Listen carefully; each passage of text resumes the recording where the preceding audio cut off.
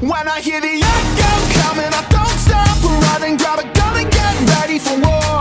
Screaming like a psycho, ready to fight for the money. Grab a Now I'm just coming from the tournament, so I feel pretty good. We had the Nations League after we had a few weeks free, uh, and after we started to prepare for European Championships. And now, after our last game, uh, I came home on Thursday, and since Sunday I'm back here in Gdansk. So I had a few days with my family, my girlfriend, and to take my things.